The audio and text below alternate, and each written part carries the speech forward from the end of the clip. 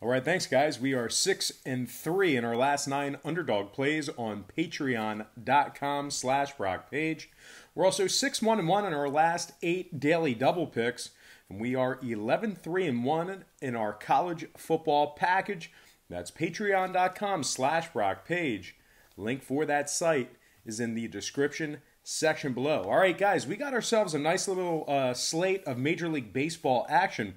So let's go ahead and get into it, beginning with the St. Louis Cardinals taking on the Diamondbacks, and that's going to be a 340 Eastern first pitch in Arizona. The Cards are minus 115, total at 9. We saw a 15 cent fade of St. Louis in the early wagering. We also saw movement downward on the total. The Cards open a buck 30 down to 115. Total open 9.5 down to 9 flat. 56% of the consensus is leaning toward the Cardinals, 69% shaded toward the under.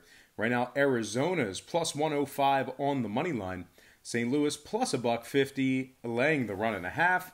With Michael Wacha for the Cards, Merrill Kelly for the Diamondbacks. Kelly's just 12 and 14 on the year, 4.31 ERA, 1.30 WHIP. Meanwhile, Michael Wacha on the other side for St. Louis has 101 strikeouts on the year. Now, the Diamondbacks have dropped two out of their last three ball games. They also rank 17th in home hits allowed. Meanwhile, St. Louis on the other side, winners in six out of their last seven on the road. They're in first place in the NL Central, and they rank third in runs allowed on average per game. Now, total wise, St. Louis is 4 and 1 to the under in their last five, taking on the Diamondbacks. I'm going to lean Cardinals minus a buck 15 and the under nine runs in that game. Next matchup Brewers, Reds, 640 Cincinnati. The Brewers are minus 145 total at 9. Saw a 10 cent fade of Milwaukee in the early wagering. The Brewers open a buck 55 down to 145 totals at 9. 65% leaning toward the Brewers, 75% leaning toward the over. Right now, Cincinnati's plus 135 on the money line. Milwaukee plus a buck 20, laying the run and a half. We have Jordan Lyles for the Brewers, Tyler Mahle for the Reds. Mahle's just 2 and 11 on the year with a 4.93 ERA, kind of the uh, the black sheep in this uh, pretty good starting rotation for the Reds. Although uh, they couldn't put up much runs this year, the record doesn't uh, kind of implicate uh, the quality of their starting rotation. But anyway, uh, on the other side, Jordan Lyles for the Brewers, 11 and 8 on the year, 140 strikeouts. The Reds have dropped three out of their last four. They're also 34 and 45 against the spread at home. They rank 26th in hits on average per game. Now the Brewers on the other side, they are five games ahead of Milwaukee. Uh, they are five games ahead of Chicago for that second wild card spot. They also rank second in offensive walks on average per game. They are winners in nine out of their last 10 on the road. Now, total wise, Milwaukee 6 and 2 to the under in their last eight. Cincinnati 70% to the under in their last 10. Give me the Brewers minus 145 and the under nine runs in that game. Next matchup Twins, Tigers, 640 Detroit. The Twins are 240 total and 9. Randy Dobnak for the Twins, Daniel Norris for the Tigers. Norris is just 3 and 13 with a 4.58 ERA, 1.34 whip. The Tigers are the worst team in Major League Baseball. They are 46 and 110 on the year. That's a 295 win percentage. They're also dead last in scoring on average per game.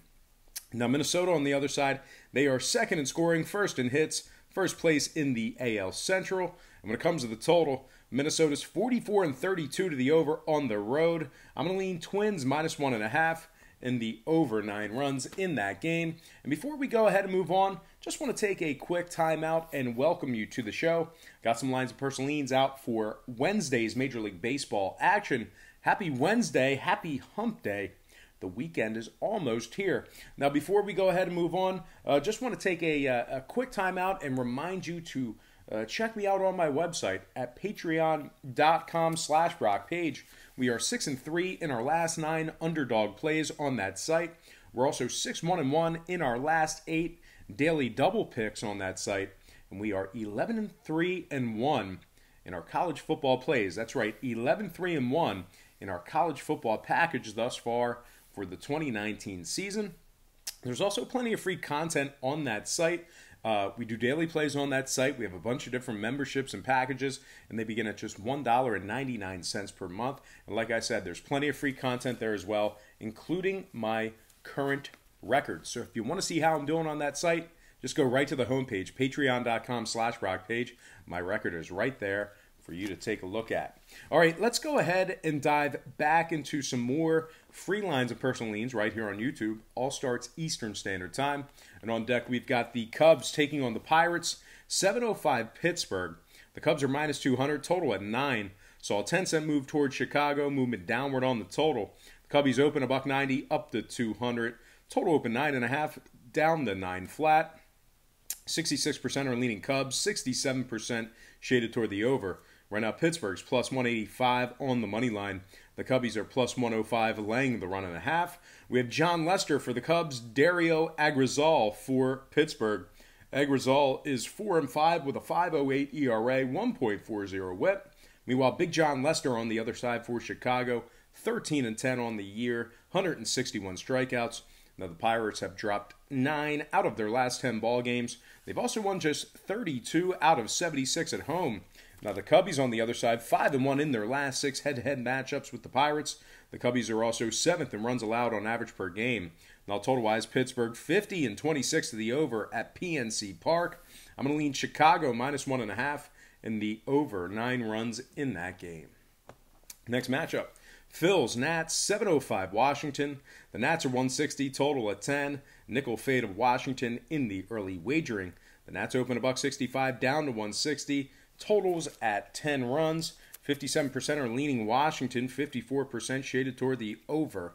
Right now, Philadelphia is plus 150 on the money line. The Nats are plus 125, laying the run and a half. We have Drew Smyly for the Phils, Anibal Sanchez for the Nats. Sanchez is 10 and 8 on the year, 3.91 ERA, 1.29 WHIP. He's also struck out 127 batters. Drew Smyly on the other side, just 4 and 7 on the year, 6.44 ERA. Washington clinched a playoff berth last night. They are locked up for a wild card spot. Uh, a lot of concerns from folks in this spot here. Is is this a hangover game? Well, it could potentially be, but they're five and one in their last six. I think they're focused on taking care of business. They're 45 and 31 at home. Meanwhile, Philadelphia, um, we're looking at a legit chance of this Phillies team maybe not even finishing out at 500, which is absolutely embarrassing. Uh, same trend as last year for these guys. Uh, noticing some really bad trends with this team and very consistent trends with these uh, with this team. So might need to make some changes in Philadelphia. Uh, the Phillies are 22nd in road scoring, 20th in hits allowed. When it comes to the total, the Phillies are 70% to the under in their last 10, taking on the Nats. I'm going to lean Washington minus a buck 60 in the under 10 runs in that game. Next matchup: Orioles, Blue Jays, 707 Toronto. The Jays are 165, total 10 and a half. Nickel move toward Toronto, movement upward on the total. Jays open a buck 60 up to 165. Total open 10 up to 10 and a half. 60% are leaning Toronto, 83% shaded toward the over. Right now, Baltimore is plus 150 on the money line. Toronto plus a buck 10, laying the run and a half. We have Gabe Ynoa for the O's, Jake Waguespack for the Jays. Waguespack has struck out 58 batters in 72 innings pitched. Gabe Ynoa is 1 9 on the year, 5.65 ERA, 1.37 whip. Baltimore is last in runs allowed, 28th in hits allowed. Meanwhile, Toronto winners in six out of their last nine ball games. When it comes to the total, Toronto's nine and three to the over in their last dozen. Give me Toronto minus 165 in the over 10 and a half in that game. Next matchup, Yankees, Rays, 710 Tampa Bay. The Rays are 115, total at 9. Jonathan Loaisiga for the Yankees, Charlie Morton for the Rays. Morton's 15 at 6 with a 3.6 a 3.15 ERA and a 1.10 WHIP. He's also struck out 231 batters. The Rays are half a game ahead of Cleveland for that second wild card spot in the American League. They are 30 games over 500 at 94 and 64 overall for the year. Winners in 7 out of their last 10. They're also third in runs allowed at home. This Rays team is also fifth in hits allowed at home, second in walks allowed at home, and third in striking batters out at home.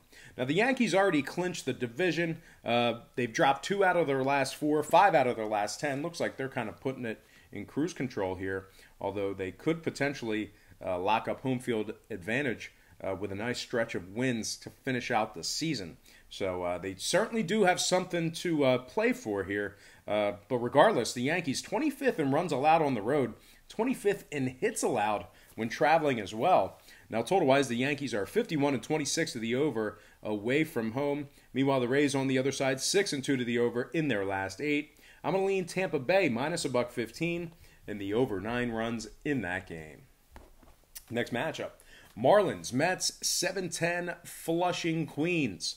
The Mets are minus 400, total 7.5. We saw a 40 cent move toward New York. They opened 360 up to 400, total 7.5. 64% are leaning Mets, 77% shaded toward the over. Right now, the Marlins are plus 360 on the money line.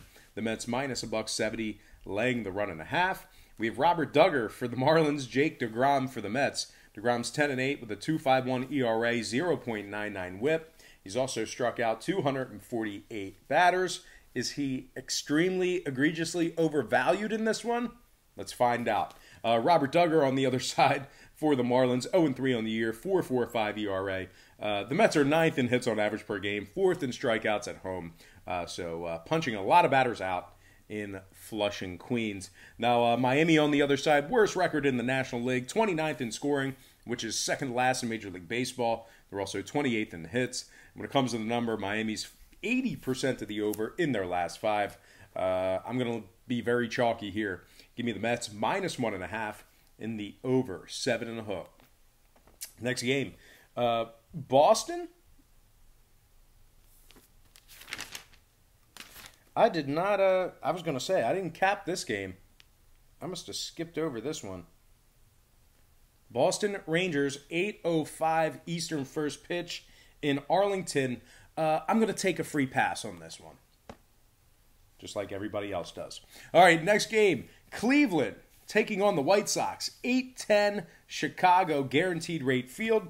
The Indians are minus 300, total at 9. 72% are leaning Indians, 77% shaded toward the over. Uh, the White Sox are plus 265 on the money line. The Indians minus a buck 80, laying the run and a half. We have Shane Bieber for the Indians, Ross Detwiler for the White Sox. Detwiler's 2 and 5 with a 6.98 ERA, 1.72 whip. Shane Bieber on the other side for Cleveland, 15 and 7 on the year, 3.23 ERA, 1.03 whip. He's also struck out 252 batters. Cleveland is uh, half a game back for that second wild card spot in the American League. Uh, they're right in the mix there, uh, within striking distance of a playoff berth. They're 93 and 64 overall for the year, nearly 30 games over 500. They're also uh, winning games on the road. They're 44 and 32 away from home, uh, 45 and 31 against the spread when traveling as, as well. And of course, when I refer to the spread in Major League Baseball, I'm referring to the run line. So once again, 45 and 31 ATS away from home. They're perfect 5 and 0 in their last five when traveling, and they are first in runs allowed on the road as well. Now, the White Sox on the other side, winners in just four out of their last 12. Uh, they've only covered just 29 out of 75 ball games at home this year, and they rank 27th in walks allowed. Now, total wise, Cleveland 12 and 5 to the under in their last 17. I'm gonna lean Indians minus one and a half in the under nine runs in that game. Next matchup: Braves Royals 8:15 Kauffman Stadium.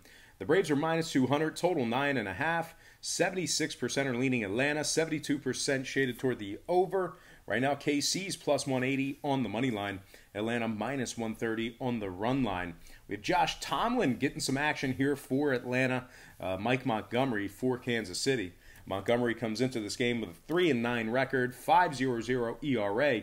Meanwhile, Tomlin on the other side, 2 and 1 on the year, 3.82 ERA, 1.10 whip. Now, Kansas City is 27th in scoring, 27th in hits allowed. Meanwhile, the Braves on the other side, uh, first in the NL East, they did clinch a playoff spot. Uh, they're also winning ball games away from home as well. They're 46 and 31 on the road this year. Now, total wise, the Braves 5 and 1 to the over in their last six, taking on the AL Central. Give me the Braves minus one and a half in the over nine and a hook. Next game, Rockies Giants 9:45 San Francisco. This game currently off the board with Tim Melville for Colorado, Jeff Samardzija for the Giants. Samardzija's coming into this game with a 3.64 ERA, 1.11 WHIP. He's also struck out 135 batters. Tim Melville on the other side for Colorado, just 2 and 3 on the year, 5.40 ERA. San Francisco has won two out of their last three games where Samardzija made the start. They're also sixth in walks allowed at home, uh, winners in four out of their last eight ball games. Meanwhile, on the uh, other side, Colorado just two and four in their last six, winners in just 28 out of 79 away from home. I'm going to lean San Francisco, winning that game outright for some money line cash. All right, next matchup: Oakland taking on the Angels. 10:07 Los Angeles. The A's are minus 160, total eight and a half. We saw a 15 cent fade of Oakland and movement downward on the total. The A's open a buck 75 down to 160. Total open nine down to eight and a half. 75% are leaning Oakland. 60% shaded toward the under. Uh, right now, Los Angeles is plus 150 on the money line. Oakland minus a buck 05 on the run line. We got a Frankie Montas uh, experience, a Frankie Montas experience. No, a Frankie Montas appearance. Uh, this is his first start in 80 games uh, after he was suspended. Uh, so, Frankie Montas, welcome back. Uh, we have Andrew Heaney for the Angels. Heaney comes into this game with a 1.28 whip and 111 strikeouts. And like I said, Frankie Montas, first action in 80 games. Uh, I am running out of time here. I'm incredibly late uh, for work. So I'm going to lean Oakland minus 160 and the over eight and a half in that game. And we have two more matchups to go, but I did not. Well, I, can't. I got to go. Uh, Astros at the Mariners, 10-10 Eastern first pitch in Seattle. Uh, Astros are very good. The Mariners struggle. Uh, I'm going to take a free pass on this one. And then next and final game for the show, it's going to be Dodgers Padres 10-10 Eastern first pitch in San Diego. It's a pass for me. I'm not going to play that one. No, seriously, uh, pass on those last two because I got to get out of here. All right, let's go ahead and slide to our uh, pick, uh, quick pick recap brought to you by patreon.com slash Brock Page. I am running incredibly late. Um, we're going to go uh, Oakland minus 160 over 8.5. San Fran winning their game outright for some money line cash. Braves minus 1.5 over 9 and a hook. Cleveland minus 1.5 under 9 runs. Tampa Bay minus 115 over 9 runs. Mets minus 1.5 over 7.5. Uh, Toronto minus 165 over 10 and a hook. Washington minus 160 under 10 runs. Cubs minus 1.5 over 9 runs. Twins minus 1.5 over 9 runs. Milwaukee minus 145 under 9 runs. St. Louis minus 115 under 9 runs. All right, guys, that is going to do it for me. Once again, don't forget to check me out on my website at patreon.com slash Brock Page. We're six and three in our last nine underdog plays on that site. We're also six one and one in our last eight daily double picks, and we're 11 3 and one in our college football package. We have a bunch of different memberships that you can subscribe to, and they begin at just one dollar and ninety nine cents per month. There's also plenty of free content there as well, including my current record. Link for that site is in the description section below. But most importantly, I got to thank you for watching me right here on YouTube. I really hope you enjoyed all this great free content, all this great free information. Happy Wednesday to you. Best of luck to you. And don't forget to check me out on patreon.com slash Brock Page.